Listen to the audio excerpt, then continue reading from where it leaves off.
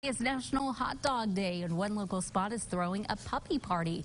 Bark Bar in Little Rock is a mix between a dog park and a bar. And our own dog lover, Haylee Brooks, is out live. Hi, Haylee. Hello, Mallory. We are back and we are in the bar slash kitchen area, and we're joined again by Kara. And what we making now? All right, we are making the Dachshund, which is going to be the free hot dog that is buy one, get one free today. Awesome. And so we're going to take our 100% certified Angus beef frank.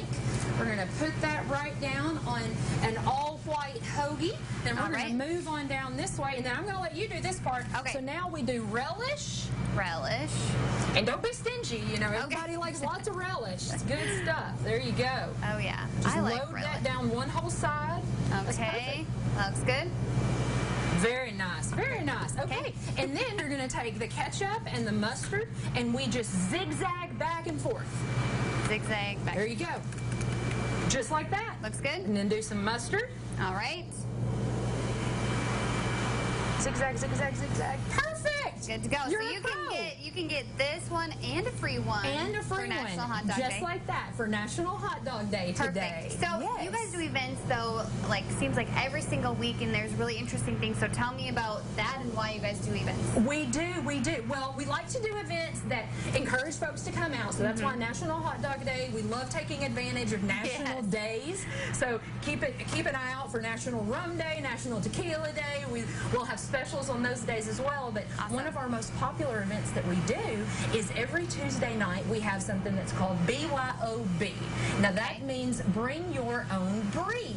Right. And we let people vote all week long, all mm-hmm. month long, really, on what breeds they would like to get in for free.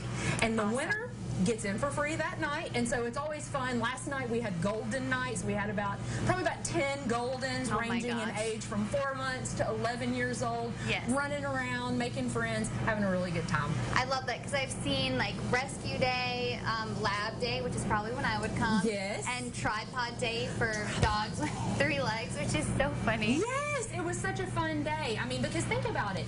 There hadn't been an event for specifically disabled dogs. Yeah. And so on Tripod Day, we had so many people saying thank you for doing this because, Yep. you know, everybody likes for their dog to kind of socialize with other, mm-hmm. with, with similar breeds and see how they react because. Yeah. that's when a lot of their breed characteristics can really come out.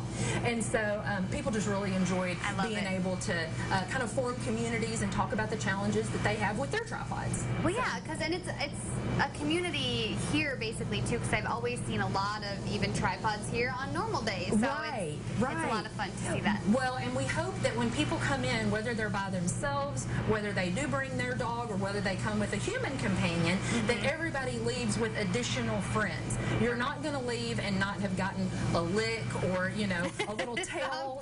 Yeah, you're going to have some kind of interaction. And then because of their dogs, it makes it so easy to start a conversation with mm-hmm. other people. And so. Perfect. it's a great community. All right, well, you should come out for a National Hot Dog Day here at Bark Bar, but it is 21 plus it's because it is a bar. And remember that you have to have all your shot records when you come out here. So, Mallory, we're going to send it back to you. Brooks Thank you so much. Have fun out there. I